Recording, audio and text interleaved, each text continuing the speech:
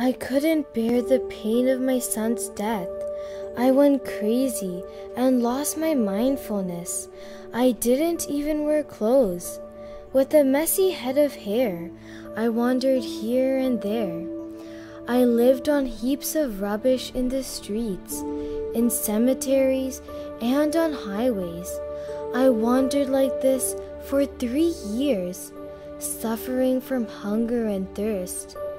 One day, I saw the Supreme Buddha entering the city of Mithila. I saw the supremely enlightened Buddha, the tamer of the untamed beings, and the one who has no fear at all.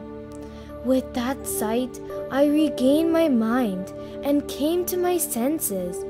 I went to the Buddha and worshipped him. Gautama Supreme Buddha showed pity on me and preached the Dhamma to me. Having heard the excellent Dhamma, I became a nun.